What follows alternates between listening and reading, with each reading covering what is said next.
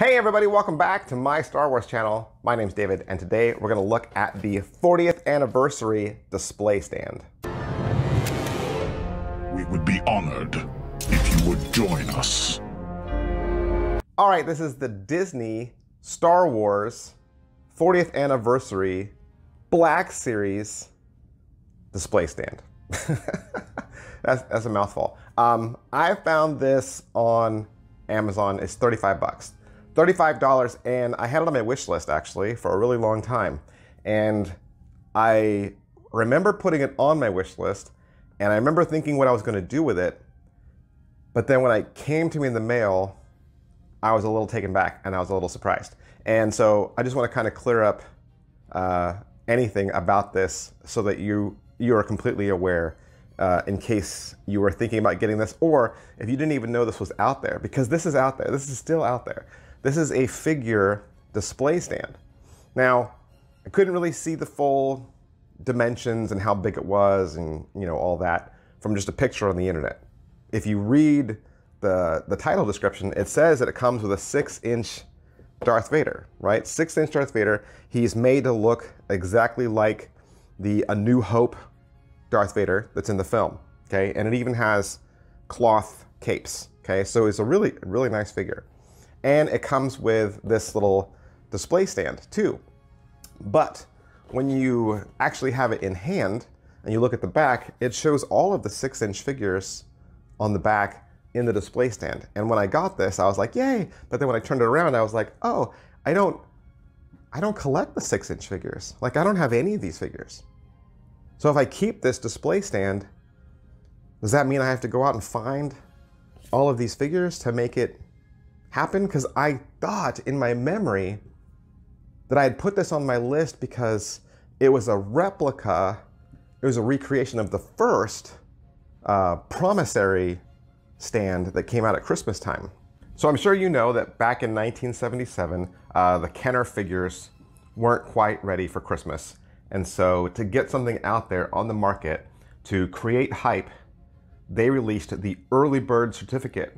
And so it was a display stand that looked like that. Well, it had all the figures on one side and you flip it around, had the X-Wing uh, going against the, uh, the Death Star on the other side. And it was completely blank. It was completely empty. There was no figures inside. They were selling just the display stand for the figures that were coming. Okay, it was the early bird certificate, 1977 Christmas, and that now is a hot commodity. And it, I, I am never gonna get an original display stand. That's probably not gonna be one of the things I ever pursue or try to find. Okay, so this in my head, I thought this is gonna be the next best thing because it's a it's a new recreation of it. I can still put my vintage figures on it. And then when I saw the six inch figures on here, I thought, oh no, I got the wrong one. But that's just the box, okay? You can put the six inch figures on here, but the good news is, of course, you can put the vintage ones on here as well. And that's what I did. I wanna show you my original 12 figures. Now the original 12 figures in the early bird stand, uh, they had a specific place where they could go because there was labels down at the bottom that said this is where so-and-so stands and so-and-so, so you know how to collect them all. So really, when you see the display stands displayed, the figures are always in the same spot because they line up with the names underneath. Uh, you can't exactly do that same order with this stand. The early bird stand had three groups of four. So it had four, eight, and 12, like that. And you kind of group them in these little four vignettes. This new display stand, the base is different and all the figures are grouped in threes. So you can still kind of put it together in the right order, and I've done my best, but this one has three, six, nine, 12. So it's a different setup. You can get it to look as close uh, as you can, but it won't look exactly like the display stand from 1977. And of course, the names at the bottom are not there either. But I love the little armbar at the top. I love the little plaque at the top that says Star Wars.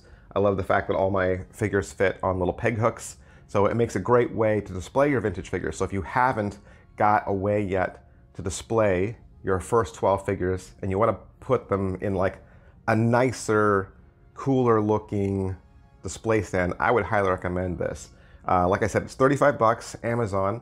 It's the Disney's Star Wars Black Series 40th anniversary display stand. And it comes with a six inch uh, Darth Vader, which I'm gonna leave in the box. I'm gonna leave my guy in the box and I'm gonna display the box like this and then display my display stand uh, someplace else. So I was really happy to pick this up and add this to my collection. You could too.